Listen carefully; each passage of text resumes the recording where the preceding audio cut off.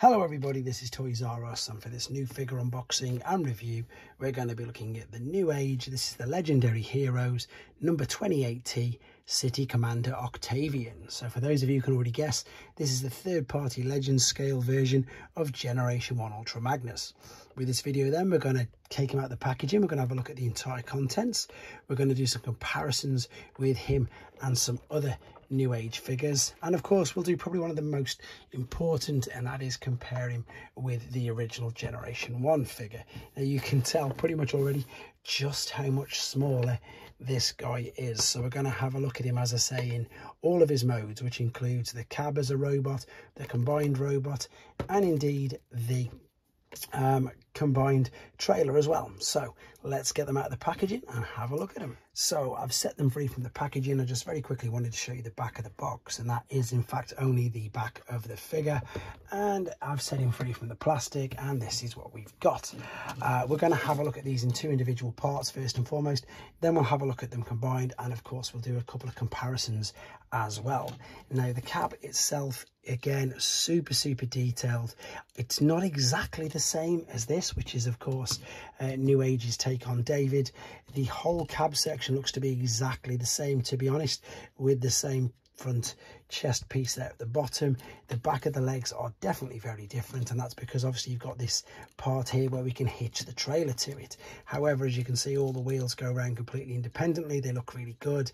We've got translucent windows detail there on the windscreen wipers on the grill nice use of the red paint there um, and again remember this is the translucent version so we've got some clear plastic here on the underside etc but overall as you can see and tell it's a nice looking figure. Let's just move him out the way. We'll have a better look of that in the actual cab as a robot mode. So to give you an idea again, of, I suppose, of scale, there's a core class swoop.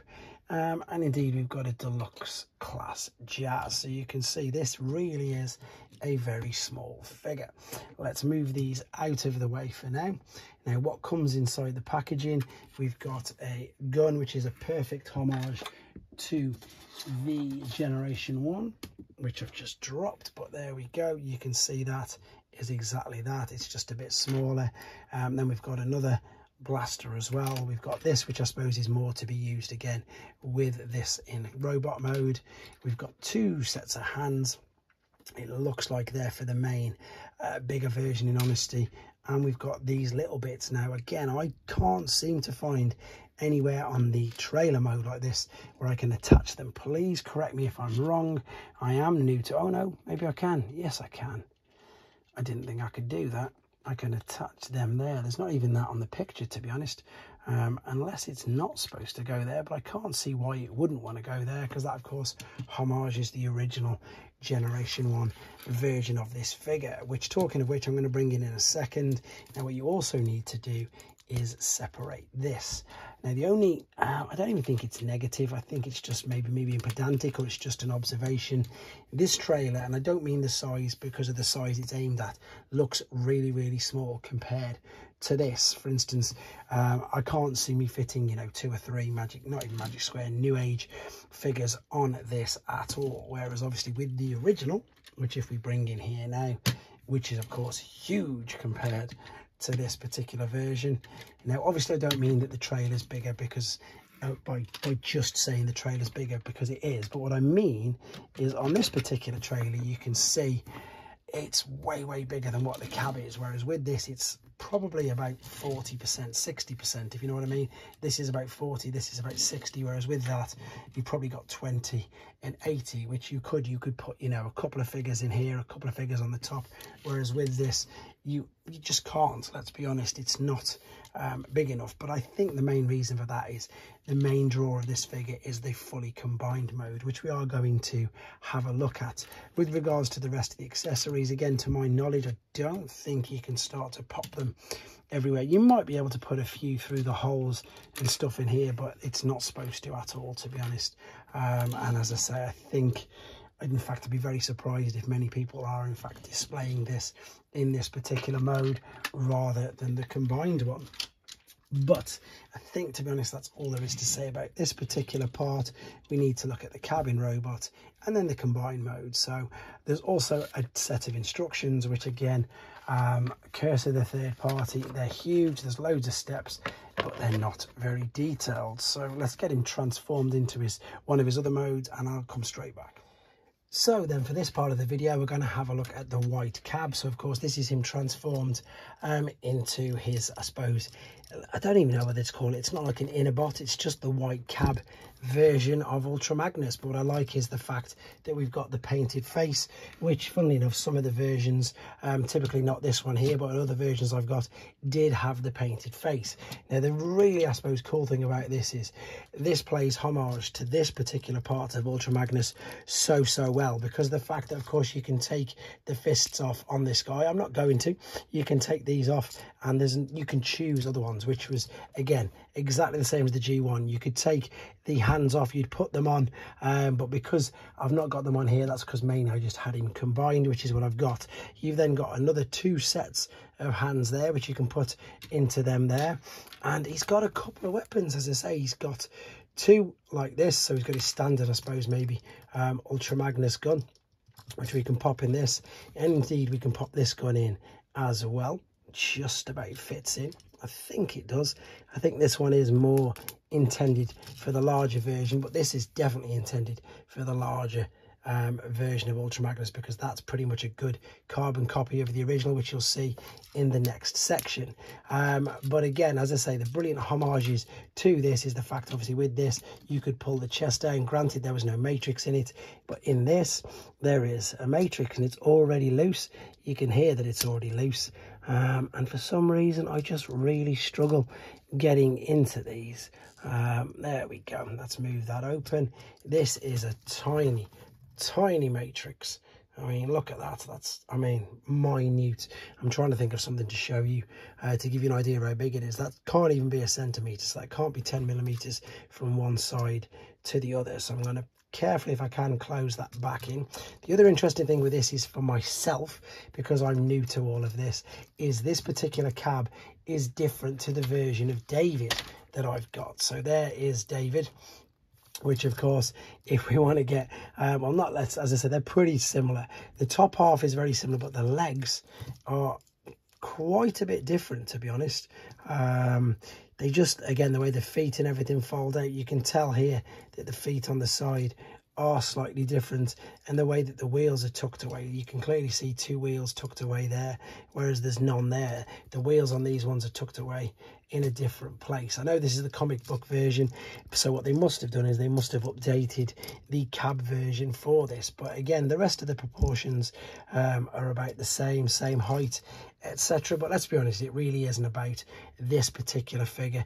It's about the combined form of Ultra Magnus. Um, so I've already took the um, trailer apart, to be honest. I took the trailer apart and I've sort of partially got this ready to combine, which is what the next section is going to be. But what I actually need to do, and again, I'm going to do it quickly off camera. I'm going to hopefully get a tutorial uploaded soon because there's so many transformation processes. I want to try and keep the main length of the video down, but it's not just as simple as the G1 where you could hide his head away and then just attach it to this. You've got to do a transformation process to this cab. So I'm going to do the transformation process of the cab and then we will build him up into the actual Ultra Magnus figure that we want to see. Okay then, so I've got the cab ready for the combining process and I'm going to show you that. But like I said, I'm going to upload a transformation tutorial because it just really is really quite long to be honest. So what we've done is I've turned the shoulders completely around, folded them on the top and lifted up the midsection because that's what gives you the ab crunch. And this again is unfortunately, but it's what the same as all of the Ultra Magnuses have been, think I think pretty much forever to be honest, all the ones like this. Anyway, parts forming. So we've got the back end of the trailer here. We can see we can slot the leg in there and then there's a red tab that's going to click into the back of the thigh there. If I just click this up sorry lift this up so you can see what I'm doing and tap that in there. Fold this over and clip this in. I just need to stand his legs up that's not gone in. Or why is that not gone in? There we go. That's better. And as you can see that's it. There was that tab on the outside. Same for this. So it's just like we're putting on big wellies or big boots whatever you want to call it. Slot this into position and then close this over. It does all tab together really nicely to be honest. It really does.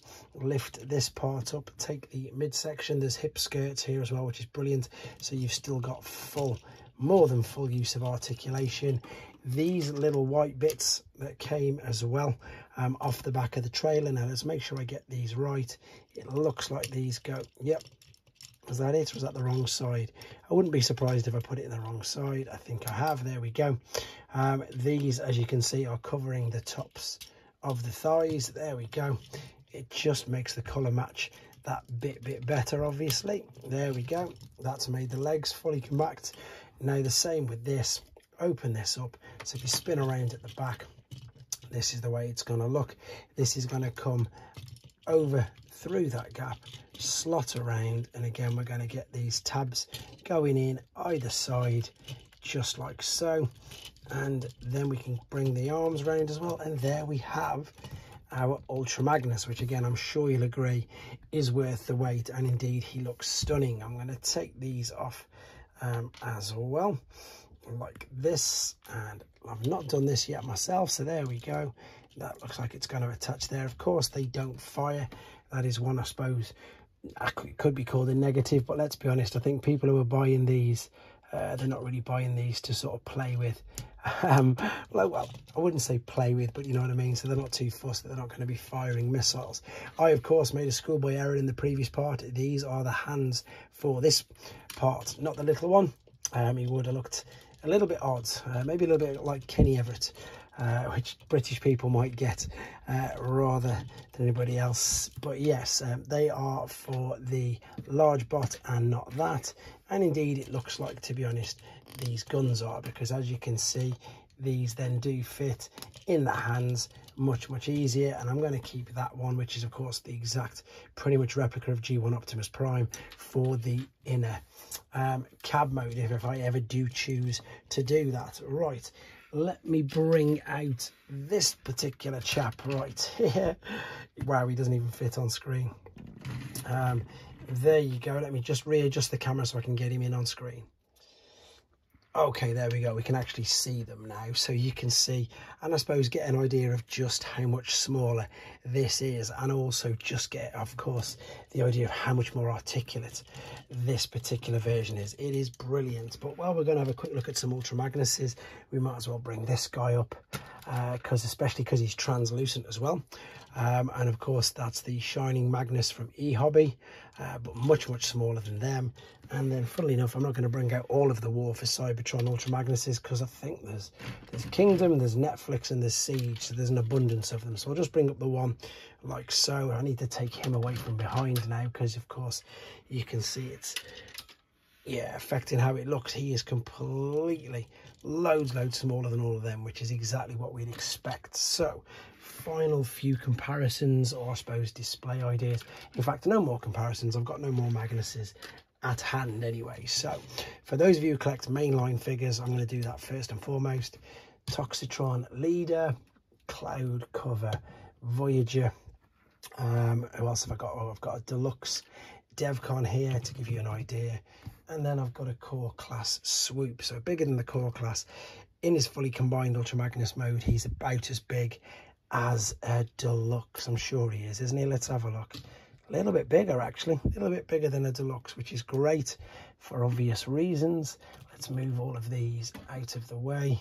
Um, and then quickly, of course, let's do some of the figures that really matter if you've got this one or if you collect these particular types of figures. There's some more new age for you. There you go. Right, let's move him out of the way there's a magic square funnily enough i've just noticed i've got um, a core class optimus as well there of course from the other section and then i've got a doctor wu prime at the bottom there as well but to be honest not much more to say it really is a great figure it really is quite intricate um, it's going to take you quite a bit of time to get used to the transformation process because there's so much to do in it i've just realized i've not shown you i've talked about it but i need to show you the articulation so the shoulders will go all the way around. There is a swivel at the waist, sorry, at the shoulder. There's a bicep flexion. There's a wrist swivel because you can change the hands. There's full articulation in this, exactly the same as what I showed you in the cab, even in this giant combined i say giant much much bigger combined mode and the head has got the full articulation as well. So sorry i forgot that and i'm saying it right at the very very end but i do hope i've done this figure some justice. Um, and again thanks to Shozy i'm going to put a direct link for this particular figure in the description if you'd like to get one for yourselves. In the meantime there he is. It is new age's take on ultra magnus but with the clear plastic version. Thanks for watching guys. Take care